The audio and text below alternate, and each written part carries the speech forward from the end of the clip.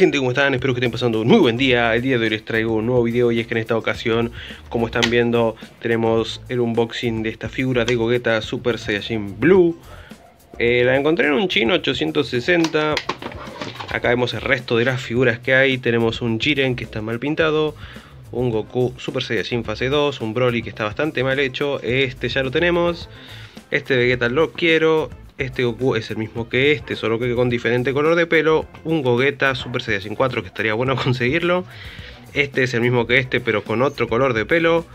Tenemos este y este. Los que quisiera. Este, este y este.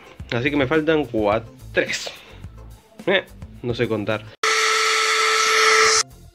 Estoy en... Miren, ah, tengo la campera de Naruto. La decepción. La traición, amigo. Abrirlo es muy sencillo, tiene solo un cartón. No tiene nada.